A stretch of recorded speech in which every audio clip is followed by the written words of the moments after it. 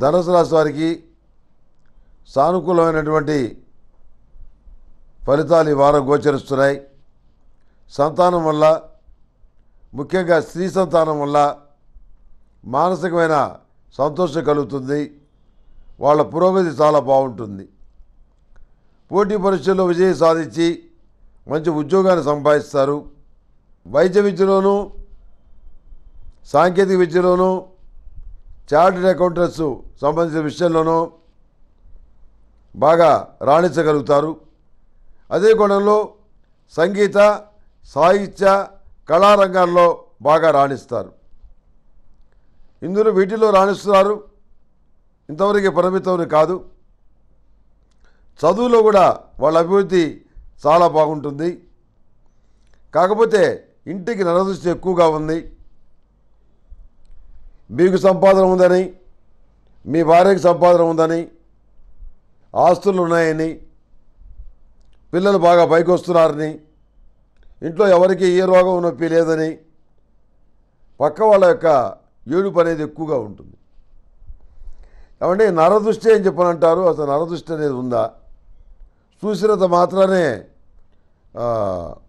చెడు జరుగుతుందా? అనేటువంటి సందేహం కలగవచ్చు. ప్రతి వాళ్ళు ఈ మాట ఒకటి అడ్డం పెడుతున్నారు నరదృష్టి అని.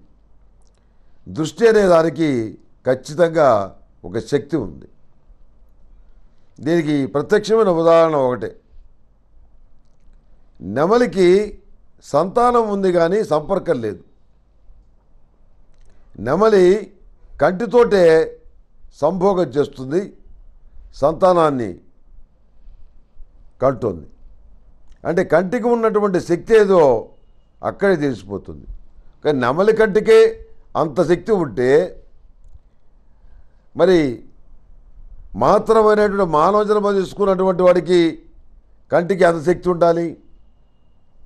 ఆ కంటి చూపు ఏదైతే ఉందో దాంతోటే తపశక్తితోటి ఎన్నో అద్భుతాలు సృష్టించిన మహర్షులు కథలు మనం విన్నాం పురాణాల్లో చూసాం కేవలం దృష్టి మాత్రంతోటే దగ్ధమైనటువంటి సంఘటనలు కూడా మనం చూసాం కనుక ఏంటంటే దృష్టి అనేటువంటిది మనం మనకిష్టం లేని వ్యక్తులు ఎవరైతే ఉంటారో వాళ్ళు కానీ చూస్తే ఖచ్చితంగా దాని ప్రభావం నూటికి నూరు పాళ్ళు ఉంటుంది.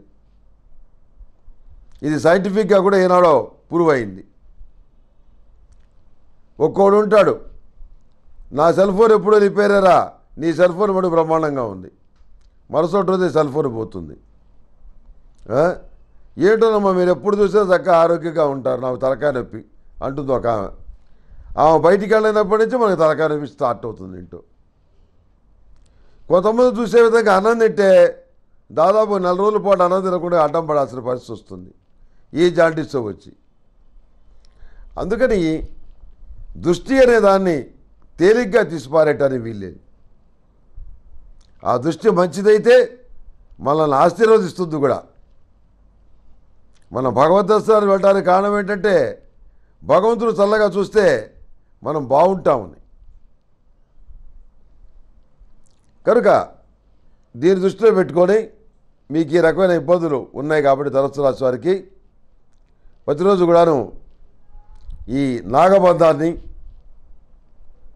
నా ఐశ్వర్య నాగిరిని తప్పకుండా ఉపయోగించండి. దీనివల్ల మీకు సానుకూలమైనటువంటి మంచి ఫలితాలు ఉంటాయి. ఈ రాశిలో జన్మించిన వారికి వైట్ కలర్ బాగుంటుంది. అదృష్ట సంఖ్య రెండు. ఏదైనా పని మీద బయటికి వెళ్ళేటప్పుడు బుధవారం కానీ గురువారం కానీ బయలుదేరి వెళ్ళండి. మంచి ఫలితాలు సంప్రాప్తిస్తాయి.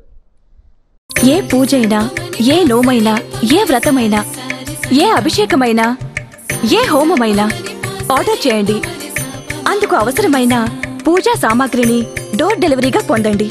ఈరోజే మీ పూజా సామాగ్రి కొరకు ఈ పూజా స్టోర్ డాట్ ఇన్లో లాగిన్ అవ్వండి.